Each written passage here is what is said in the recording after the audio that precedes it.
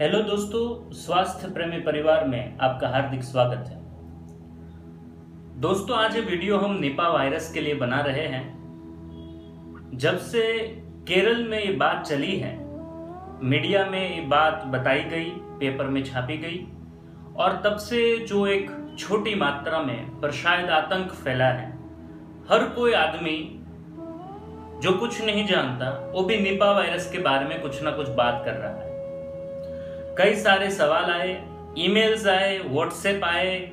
कुछ नजदीकी दोस्तों ने फ़ोन करके भी पूछ लिया कि, सर, ये क्या है? क्या इससे ठीक हुआ जा सकता है? क्या सही में इतनी बड़ी समस्या है?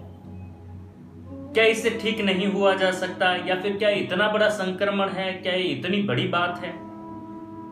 तो इन्हीं छोटे छोटे कुछ डरावने लगने वाले सवालों के सिंपल जवाब देने के लिए इस वीडियो को हम बना रहे हैं। दोस्तों, हम भारतवासी के साथ पिछले 20 साल में करीबन कुछ कुछ घटनाएँ घटी हैं। एक घटना तो बड़ी फ़ेमस हुई थी स्वाइन फ्लू और एक दूसरी घटना घटी, उस समय भी हम बड़े आतंकित हो गए थे।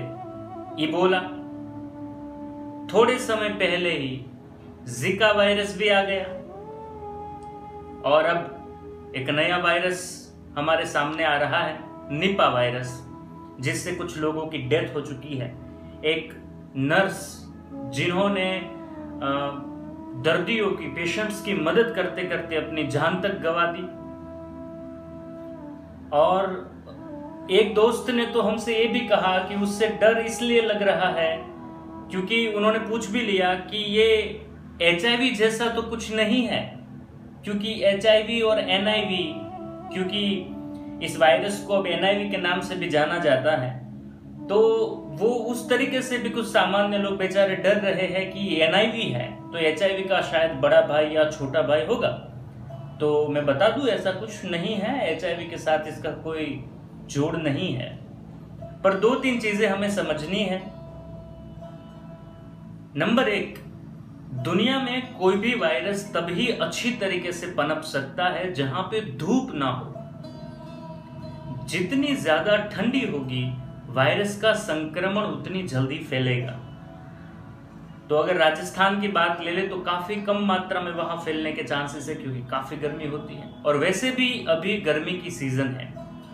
तो ये फैल सकता है, ऐसा मान लेते हैं कि ये फैल सकता है, ये संक्रमण है, वायरस से डरने की ज़रूरत इसलिए होती है क्योंकि ये एक आदमी को संक्रमित करता है उस आदमी से वो दस आदमी में परिवर्तित हो सकेगा, दस आदमियों को संक्रमित करेगा, वहाँ से फिर वो सौ में डायरेक्ट बढ़ जाएगा। तो ये बहुत जल्दी फैलता है, इसलिए वायरस से हम सब डरते हैं। तो एक हमें जो फ़ायदा पहुंचाएगी नेचर, वो है कि गर्मी की सीज़न है, इस समय इतनी जल्दी से नहीं फैल सकता। दूसरी चीज़ है कि जैसे ही सबने सुना कि चमकादड़ है उसके द्वारा ये फैलाया जा रहा है, चमकादड़ के द्वारा संक्रमण फैल रहा है। चमकादड़ के द्वारा इस वायरस को फ्रूट तक पहुँचाया जाता है मीन से फ्रूट को खाते और फ्रूट में चला जाता है और फिर एक आदमी उस फ्रूट को खाता है और ये वायरस ह्यूमन बॉडी में चला जाता है। तो मैं यहाँ बताना चाहूँगा कि ये इसमें थोड़ा सा सुधार ये करे, सब लोगों के दिमाग में ये होता है कि हर चमकादड़ में वायरस होगा। जैसे अगर किसी को कहा जाए कि आप सुबह शाम जूस पियो, दूधी का जूस पियो, लौकी का जूस पियो तो जैसे ही उसने सुना लौकी का जूस तो तुरंत उसे ग्लास ही भरा हुआ पूरा दिखाई देता है। पर इसका मतलब ये नहीं कि पूरा ग्लास ही पीना होता है, कुछ लोगों को आधा कप भी चलता है। तो जैसे ही सबने सुना कि चमकादड़ से इस वायरस ये फैल रहा है तो सबको लगा, सब कम, चमकादड़ से फैल रहा होगा, पर ये गलत है। चमकादड़ की कई प्रजातियाँ होती हैं, उनमें से एक जाति है, और वो एक जो प्रजाति है, उसी से, और वो भी जो फ्रूट को खाएगा, उसमें जा सकती है सिर्फ़। तो ये काफ़ी कम मात्रा फिर हो गई।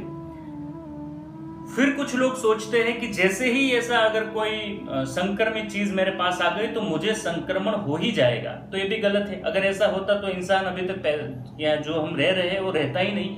क्योंकि वायरस आपके टच में आने से डायरेक्ट संक्रमण नहीं हो जाता।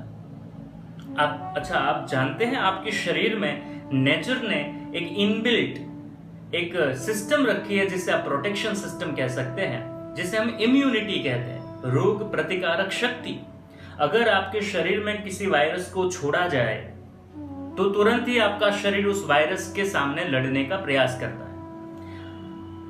अच्छा आप जानते हैं पोलियो का वायरस?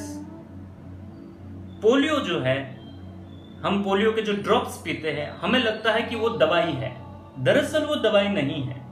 पोलियो ड्रॉप्स में पोलियो के ही वायरस होते हैं। तो हम बच्चों को क्यों देते हैं? हम इसलिए देते हैं कि बच्चों के शरीर में कुछ वायरसेस एंटर होंगे बच्चे की रोग प्रतिकारक शक्ति उस वायरस को मारेगी और उसकी इम्यूनिटी सीख जाएगी कि पोलियो के वायरस से कैसे लड़ा जाता है। तो ये जो प्रोटेक्शन की सिस्टम है, इसी के कारण पूरी मानव जाति आज ज़िंदा है और ये इनबिल्ट है।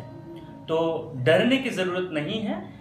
निपा वायरस के संक्रमण हो जाने से आप मर ही जाओगे, ऐसा होता नहीं है। हो सकता है आपके शरीर की इम्यूनिटी उस वायरस को मार दे।